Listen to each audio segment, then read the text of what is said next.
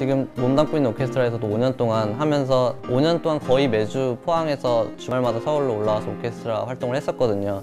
사람들이 다 그런 비슷한 질문을 하더라고요. 어, 왜 이렇게 이렇게 고생하면서 돈도 들고 시간도 들고 뭐 몸도 상하면서 왜 이렇게 열심히 하냐라고 물어볼 때와 저는 그렇게 대답을 했었거든요. 지금 아니면 안 될 것 같다라는 생각을 네, 아, 좀